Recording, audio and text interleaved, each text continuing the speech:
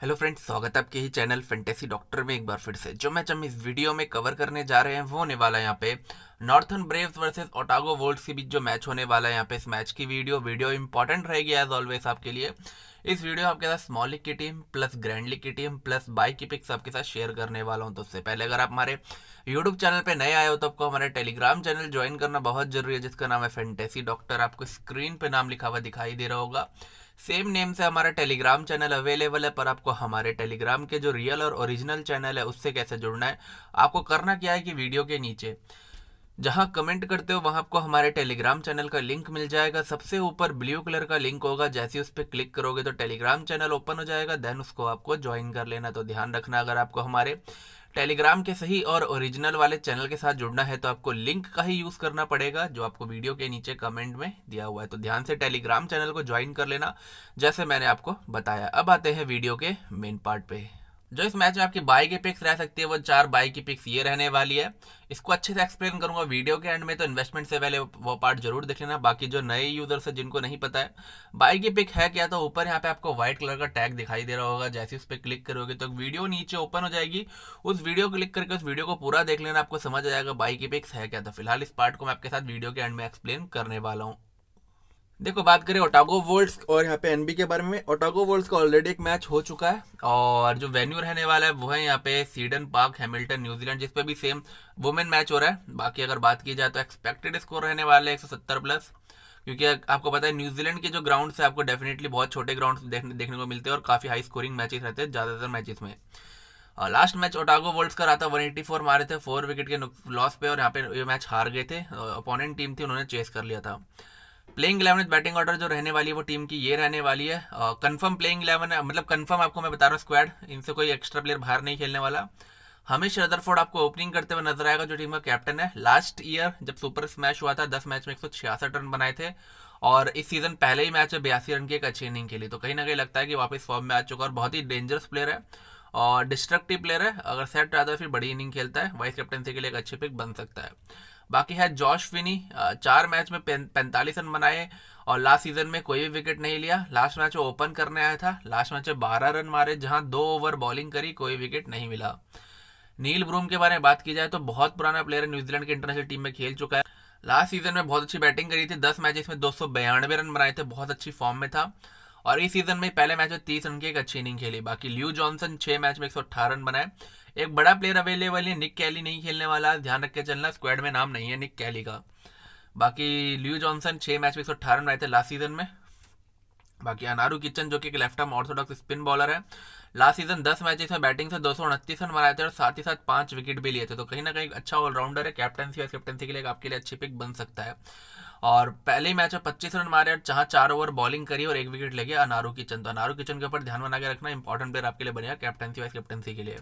बाकी है del Philips पाँच मैच में साठ रन बनाए थे और लास्ट मैच में आठ में नट आउट रहा और दो साल पहले अंडर नाइनटीन जो वर्ल्ड कप हुआ था, उसमें टीम का पार्ट था। तो अंडर नाइनटीन वर्ल्ड कप का प्लेयर है बाकी है माइकल रिप्पन, जो कि गेम चेंजर था, आपको पता है, जो परसों इनका 50 50 ओवर का मैच हुआ था, उसमें रिप्पन ने चार विकेट भी निकाले थे। Left arm chinaman bowler है। चाइना मैन का मतलब आपको कुलदीप यादव को बॉलिंग करते हुए देखा सेम लास्ट सीज़न दस मैच में निन्यानवे रन बनाए थे और दस विकेट लिए थे। और इस सीज़न बैटिंग तो नहीं आई, पहले मैच में, जहाँ बॉलिंग में तीन ओवर बॉलिंग करी, कोई विकेट नहीं मिला। इसलिए मैं थोड़ा रिकमेंड करूँगा कि ग्रैंड लीग के लिए आपके लिए कैप्टनसी कैप्टनसी की बहुत अच्छी पिक है, क्योंकि आपको पता है जो न्यूजीलैंड के बैट्समैन है, वो स्पिनर्स को इतना अच्छा नहीं खेलते और ऊपर से चाइना मैन बॉलर है। तो दिक्कत क्रिएट करेगा दो तीन विकेट इजिली निकाल के दे सकता है। बाकी मैक्स चू के बारे में बात की जाए तो यहाँ पे जो विकेट कीपर है लास्ट लास्ट सीज़न में चार मैच में तीस रन बनाए थे। बाकी है यहाँ पे जैकब डफी फास्ट बॉलर है, दस मैच में सत्रह रन। बनाए थे लास्ट सीज़न में और चार विकेट भी लिए थे। बहुत इंपॉर्टेंट प्लेयर है इंटरनेशनल में, आपको पता है इस सीज़न इसी साल स्टार्टिंग में जब वेस्ट इंडीज का डेब्यू किया था, पहले ही मैच में वेस्ट इंडीज के साथ इसने चार विकेट निकाले थे वेस्ट इंडीज के अगेंस्ट खेलते हुए। तो काफ़ी अच्छा फास्ट बॉलर उतनी अच्छी लास्ट में आके अगर बैटिंग है तो बैटिंग भी कर लेता है। बाकी है यहाँ पे मैक्स बैकॉन पाँच मैच में नौ विकेट निकालते लास्ट सीज़न में और इस पहले ही मैच में यहाँ पे चार ओवर में दो विकेट निकाले गया बैकॉन जेक गिब्सन ने सिर्फ़ दो ही ओवर डाले जहाँ कोई विकेट नहीं मिला। फास्ट बॉलर ये फास्ट बॉलर ये फास्ट बॉलर ये left time chinaman spin bowler और अनारू किचन भी लेफ़्ट टाइम और थोड़ा स्पिन बॉलर बाकी जो प्लेयर बाहर बैठा है बैठ सकता है वो है अंगस मैकेजी जो कि एक फास्ट बॉलर है। बाकी इंपॉर्टेंट बोलूँगा तो मेरे अकॉर्डिंग बनता है हमेश रदरफोर्ड नाइल यहाँ पे बनता है Anaru Kitchen Michael Rippon then Jacob Duffy और बैकॉन ये छह से छह प्लेयर इंपॉर्टेंट बनते हैं जिनको आपको टीम में लेने से पहले कंसीडर करना चाहिए। फटाफट आते हैं नॉर्थन ब्रेव्स के बारे में। तो जीत रावल जो इनका कैप्टन है इस मैच में, तीन मैच इसमें सीज़न चौरानवे रन बनाए थे। थोड़ा स्लो खेलता है बट ऐसा प्लेयर है कि सेट आता था, फिर पचास साठ रन सिंगल डबल करके अच्छे बना लेता है। हिटिंग अच्छी नहीं करता बट कहीं ना कहीं एक क्लासिक ग्राउंडेड प्लेयर है। तो टीम में ले सकते हो ओपनिंग करेगा। बाकी कैटिने क्लार्क जो कि साथ में ओपनिंग करने का लास्ट सीज़न में आठ मैच में 108 रन बनाए थे ग्रैंड लीग की पिक बनेगा, क्योंकि ओपनिंग करते हुए नज़र आएगा। और आपको पता है टी ट्वेंटी टी ट्वेंटी जैसे फॉर्मेट में, भले ही कोई भी ओपनिंग करने आया यार तो वो हमेशा से एक ग्रैंड लीग की अच्छी पिक बनता है, क्योंकि बीस ओवर का मैच होता है, किसी दिन किसका बल्ला चल जाए वो पता नहीं। तो ग्रैंड लीग में रिकमेंड करूँगा। बाकी जॉ कार्टर जो बहुत अच्छा बैट्समैन है चार मैच है बत्तीस रन बनाए और बहुत ही क्लासिक है। बाकी यहाँ पे बात करें तो इसको ले सकते हो स्मॉल लीग और ग्रैंड लीग दोनों में। अच्छा बैट्समैन है। बाकी कॉलिन डी ग्रैंडो आपको पता है, न्यूजीलैंड के लिए इंटरनेशनल लेवल पे खेलता है फास्ट बॉलर है। चार मैचेस में इक्यावन रन बनाए थे लास्ट सीज़न में और बॉलिंग नहीं की थी बट होप है कि इस मैच में, इस सीज़न इस बॉलिंग रहेगी, क्योंकि जो वनडे मैचेस हुई थी आई थिंक इनके फिफ्टी फिफ्टी ओवर्स के जो डोमेस्टिक में मैचेस होते हैं आई थिंक उसमें इसने बॉलिंग करी थी। तो उम्मीद है कि यहाँ पे कॉलिन डी ग्रैंडो एक ऑलराउंडर का रोल प्ले करते हुए नज़र आएगा और कैप्टनसी वाइस कैप्टनसी के लिए एक अच्छे पिक बनने वाला है। बाकी हेनरी कूपर का मुझे कहीं कहीं याद आता है लास्ट सीज़न इसने last to last season I think इसने छह बॉल पे, छह छक्के लगाए थे डेविच की बॉल पे।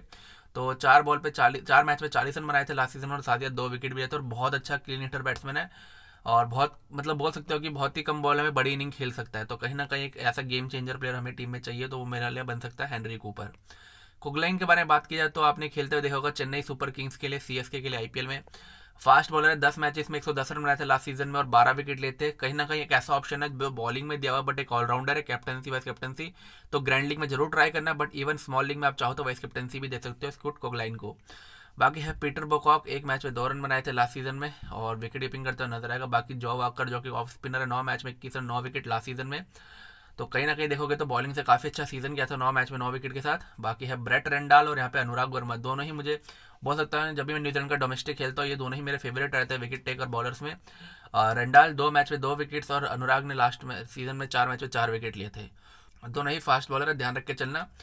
अगर आप स्मॉल लीग में नहीं लेते तो मैं इनको रिकमेंड करूँगा हाई लीग ग्रैंड लीग के लिए, क्योंकि ऐसे बॉलर है, जिस दिन का दिन होता है, तीन चार विकेट निकालते हैं। Freddie Walker, left arm orthodox spin bowler है। कहीं ना कहीं मैं बोलता हूँ, जैसे न्यूजीलैंड के प्लेयर्स स्पिनर को इतना फेवरेट खेलते नहीं है। तो कहीं ना कहीं ये फ़ायदा उठा सकता है यहाँ पे। फ्रेडी वॉकर लास्ट सीज़न भी इसने चार मैच में पाँच विकेट निकाले थे। तो तीन से चार परसेंट सिलेक्शन रेट है। तो ध्यान रख के चलना जब टीम में लो तो। जैक गिब्सन पाँच मैच सत्रह रन, चार विकेट लास्ट सीज़न में। और यहाँ पे मैथ्यू फिशर जो कि चार मैच तीन विकेट आपने इंग्लैंड डोमेस्टिक में भी खेलते हुए देखा होगा मैथ्यू फिशर को। तो ध्यान रखना इंपॉर्टेंट प्लेयर तो नहीं रहेगा इतना बट स्टिल ऐसा प्लेयर है कि जिसको दो, कंट्रीज़ में खेलने का थोड़ा एक्सपीरियंस है तो कहीं ना कहीं फिशर और गिब्सन बाहर बैठते हैं मुझे लगता है शायद नज़र आ सकते हैं। बाकी इंपॉर्टेंट प्लेयर बोलूँगा तो मेरे अकॉर्डिंग जीत रावल बनता है। Colin de Grandhomme Henry Cooper Scott Kuggeleijn grand league में ज़रूर रिकमेंड करूँगा वर्मा और रेंडाल को। ठीक है, बाकी अगर बात की जाए तो यहाँ पे है बकॉक वगैरह तो इतने इंपॉर्टेंट नहीं रहेंगे। फ्रेडी वॉकर जो कि एक स्पिन बॉलर है तो गेम चेंजर बन सकता है। फ़िलहाल मैं आपको एक स्मॉल की टीम से तीन से चार ग्रैंड लीग की टीम दे तो फटाफट से पहले स्मॉल की टीम को क्रिएट करते हैं। टीम मैंने ये बनाई, इसमें एक आधा चेंज कर सकते हो। बकॉक और शिफर्ट नहीं खेलने वाला seventy nine percent selection rate है। लाइनअप नहीं आती तो हमें समझ सकते हो कितना बड़ा फ़ायदा हो सकता है। रेनविक का भी स्क्वाड में नाम नहीं है। बकॉक और चू खेलने वाले हैं। तो यहाँ पे देखते हैं किसमें से किसका जाना है। मैं बकॉक के साथ जा रहा हूँ, क्योंकि मुझे कहीं ना कहीं लगता है बकॉक की बैटिंग थोड़ी आ सकती है। बाकी आप दोनों में से किसी के साथ भी जा सकते हो। बाकी यहाँ पे है विलियमसन नहीं खेलने वाला। बाकी यहाँ पे है ब्रूम फोर और यहाँ पे मैंने वरावल को लिया है। थोड़ा मैं टी ट्वेंटी के पॉइंट ऑफ़ व्यू से यहाँ पे गेम चेंजर जो कि बहुत कम बॉलर पर बड़ी नहीं खेल सकता हैंनरी कूपर कैली नहीं खेलने वाला forty three percent selection rate है। आप चाहो तो जॉ कार्टर को ज़रूर ट्राई करना स्पेशल क्योंकि फ़र्स्ट डन बैटिंग करेगा और अपने विकेट जल्दी नहीं देता सिंगल डबल अच्छा खेलता है। डेल फिफ्स का बैटिंग ऑर्डर थोड़ा नीचे हो जाएगा। कैटिन क्लार्क को मैं रिकमेंड करूँगा, आप चाहो तो स्मॉलिंग में डिफरेंट जाके ले सकते हो, क्योंकि ओपनिंग करेगा बट ग्रैंड लीग में तो ज़रूर ट्राई करना है। बाकी लियो जॉनसन का देखते टीम किस बैटिंग ऑर्डर पर खिलाती है? लास्ट सीज़न छह मैच में एक सौ अठारह बनाए थे। बाकी मैं बोलूँगा यहाँ पे रिपन को लिया है। यहाँ मैंने लिया है कॉलिंडी ग्रैंड होम को, अनारू किचन को, सेंटेनर नॉट अवेलेबल क्योंकि इंडिया इंडिया के साथ टेस्ट मैच में है। जो वाकर को ट्राई कर सकते हो, हैम्पटन का thirty nine percent selection rate है स्क्वाड में नाम नहीं है। मैकेजी का है बट मुझे लगता है बाहर बैठेगा। यहाँ पे है जॉश फिनी, जो कि एक्सपेक्टेड है ओपन करेगा यहाँ पे। ठीक है, बाकी अगर बात की जाए तो क्रिस्टन क्लार्क का नाम नहीं है। बाकी बोल्ट नहीं है, यहाँ पे ये नहीं है, वैगनर नहीं है, सोडी नहीं है। रेंडाल को ज़रूर ट्राई करना, बारह परसेंट सिलेक्शन रेट है। आप चाहो तो स्मॉल लीग में भी बैकॉन की जगह जा सकते हो यहाँ पे रेंडाल के साथ। मैं गया हूँ कोगलाइन के साथ और डफी के साथ। बाकी थर्ड ऑप्शन रहा है तो रेंडाल को लो या फिर बैकॉन को लो। या फिर तीसरा ऑप्शन है अनुराग वर्मा के साथ जाओ या फिर एक spin bowler Fred de Walker के साथ। तो ये जो थर्ड बॉलिंग ऑप्शन है आपके ऊपर डिपेंड करता है आप किसके साथ जाते हो, ठीक है? बट थोड़ा मैच थोड़ा सेफ़ जाते हैं बैकॉन को ही लेकर चलते हैं। बाकी आप मैं आपको ऑलरेडी बता चुका बैकॉन की जगह आप जा सकते जा सकते हो, क्योंकि मुझे लगता है कि यहाँ पे इनकी टीम की थोड़ी बैटिंग स्ट्रॉन्ग नज़र आती है तो इसलिए मैं थोड़ा यहाँ पे ओटागो बोर्ड्स को थोड़ा फेवर मार रहा हूँ। कैप्टनसी में देखे जाऊँगा यहाँ पे कॉलिंडी ग्रैंडोप को और वाइस कैप्टनसी में देखे जा रहा हूँ यहाँ पे Rutherford Rippon Anaru Kitchen Kuggeleijn तो ये कुछ आपके वाइस कैप्टनसी के ऑप्शन अवेलेबल हैं। ठीक है तो आपके वाइस कैप्टनसी के तीन ऑप्शन अवेलेबल है, आपको मैंने ऑलरेडी बता दिया किस किस का जा सकते हाँ। बताया तो फिर से वाइस कैप्टनसी कैप्टनसी के ऑप्शन यहाँ पे रहेगा Colin de Grandhomme Rutherford Rippon Kitchen और यहाँ पे है स्कॉट कॉगलाइन ग्रैंड लीग की टीम वन जो रहने वाली है वो ये रहेगी. ग्रैंड लीग की टीम टू है वो ये रहने वाली है. ग्रैंड लीग की टीम थ्री जो मान के चलो आपके लिए ये रह सकती है. और टीम फोर थोड़ा और रिस्की बना लेते हैं यहाँ पे बॉलर्स को फेवर करते हुए. तो ये स्मॉल प्लस ग्रैंड लीग की जो मैंने आपको दी है, तीन से चार चार टीम दे दी और एक स्मॉल लीग की टीम दी है। बाकी जो फाइनल टीम होगी वो आफ्टर टॉस आपको टेलीग्राम पे मिल जाएगी। तो टेलीग्राम चैनल ज़रूर ज्वाइन कर लेना, उसका लिंक आपको वीडियो के नीचे कमेंट सेक्शन में मिल जाएगा। सबसे ऊपर ब्लू कलर का लिंक होगा, जैसे इस पर क्लिक करोगे टेलीग्राम चैनल ओपन हो जाएगा देन उसको ज्वाइन कर लेना अब आते हैं बाइक की पिक के ऊपर। देखो बाइक की पिक का सिर्फ़ सिंपल सा फंडा है, चार ओवर पूरे डालेगा कुगलाइन दो विकेट मुझे कहीं ना कहीं गट फीलिंग से निकालेगा और साथ ही साथ बैटिंग में दस पंद्रह रन भी करके देगा एक आधी कैच तो अच्छा खासा प्रॉफिट निकाल के दे सकता है, मुझे लगता है कहीं ना कहीं कुगलाइन दूसरा रहेगा ग्रैंड होम अगर बॉलिंग कर जाए तो मेरे ख्याल से ऑलराउंडर में one of the best pick रहेगा, क्योंकि बैटिंग प्लस बॉलिंग दोनों से कंट्रीब्यूट करेगा। मान के चलो एक या दो विकेट निकाल जाए। साथ ही साथ अगर बैटिंग में पंद्रह बीस रन भी कर जाए तो हमें अच्छा खासा प्रॉफिट दे सकता है कॉलिन डी ग्रैंड होम बाकी रिपन जिस तरीके से वनडे सीरीज़ में अच्छी परफॉर्मेंस की थी यहाँ पे तो कहीं ना कहीं देखा जाए तो मुझे लगता है चार ओवर तो डालेगा, वहीं एक आधा विकेट एक्सपेक्ट कर सकते हो बैटिंग में दस पंद्रह रन भी।